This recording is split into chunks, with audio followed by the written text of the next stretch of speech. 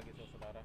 Ini pengambilan video uh, untuk mau buat apa nama baru gereja?